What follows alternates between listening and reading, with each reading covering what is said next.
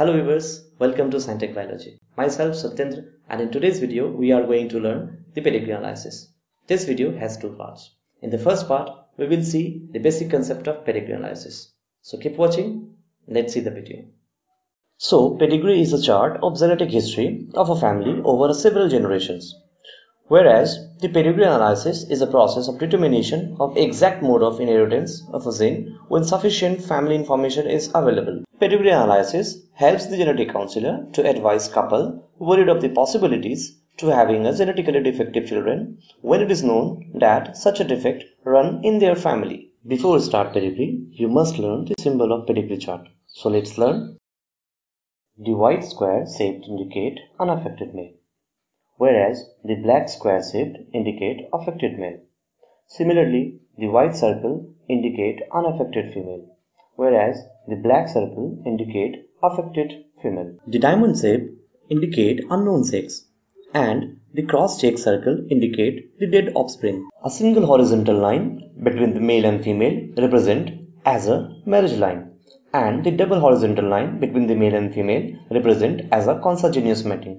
It means the marriage between a close relation. In the pedigree, the person from whom the case history start is called proband and if the proband is male, it is called propositus and if the proband is female, it is called proposita. So now let's see how pedigree chart looks like. This is a hemophilia pedigree of a royal family. The Roman number represent the generation and you can see how the defective traits has passed from first to fourth generation. Pedigree may be autosomal or sex-linked and these two may be dominant or recessive though they are also Y-linked and mitochondrial pedigree type. Now let's see each pedigree with example. This is an autosomal dominant pedigree. Here you can see in each generation there is affected child and this trait comes from the affected parent. That is, there is no skip of generation occurs here. In an autosomal recessive pedigree, you can see there is a skip of trait in the second generation and the unaffected first, second, third and fourth parent of the second generation have their defective children in the third generation.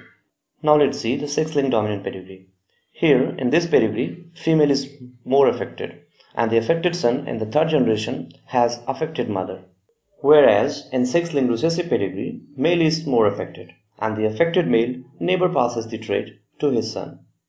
In case of Y-linked pedigree, here only males are affected in a generation. But in mitochondrial pedigree, all children are affected and their trait must come from the mother. Let's see some traits to find the type of pedigree. First, see the pedigree chart and ask yourself whether the affected child comes from the unaffected parents. If you find your answer yes, that means the pedigree is recessive type. But if your answer is no, that means the pedigree is dominant type. Now ask the second questions. Are both sex affected? Again, if your answer is yes, that means the pedigree is autosomal. And if your answer is no, then be sure that the pedigree is sex-linked. In sex-linked pedigree, if the affected son comes from the affected male, that means the pedigree is Y-linked. But if the affected male don't have affected son, that means the pedigree is X-linked. I hope this video will help you to understand the basic of pedigree analysis. In the next video, we will see how to solve the problems of pedigree analysis. Keep watching. Till then, goodbye.